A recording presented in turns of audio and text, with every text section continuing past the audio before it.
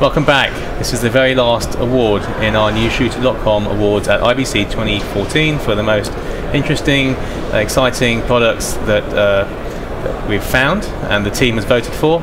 And uh, the very last category is most innovative product.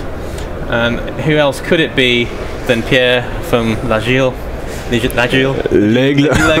I can't say, my French is terrible. I should have studied more at school. Um, I think everybody on our team who saw this uh, kind of went wow. Uh,